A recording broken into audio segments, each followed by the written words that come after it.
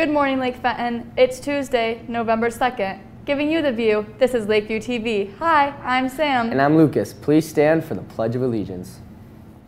I pledge allegiance to the flag of the United States of America and to the republic for which it stands, one nation, under God, indivisible, with liberty and justice for all.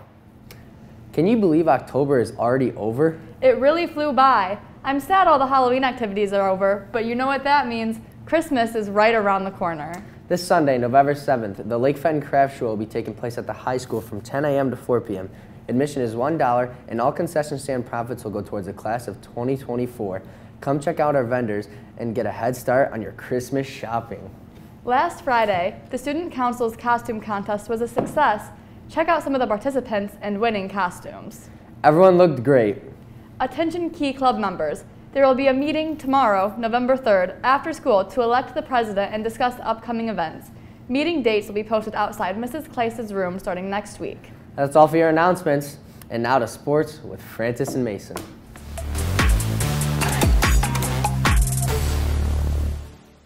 Hi, I'm Francis. And I'm Mason, here are your varsity sports. The boys' varsity football team had a dominating performance in their first playoff game against Brandon, winning by a score of 41 0. Lucas Storm had another outstanding game offensively. He collected 191 yards on just 14 carries, with three being touchdowns. The defense was led by Jack Conley, picking off two passes and breaking up two other pass plays. Bryce Fogel, Drake Deem, and Gavin Teffner each broke up a pass.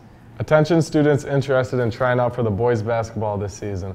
There will be an informational meeting in the high school gym at 7 p.m. on Wednesday, November 3rd, for players interested in trying out for the freshman, JV, or varsity team. This meeting will discuss the upcoming season, tryout schedules, and player expectations for the season. Following the meeting, there will be an open gym from 7.30 to 8.30 p.m. The Linden Fenton Lake Fenton gymnastics team has their final day of tryouts tomorrow from 3 to 6 p.m. at Hyatt Elementary School. And that's all for your sports. Have a great day, Lake Fenton.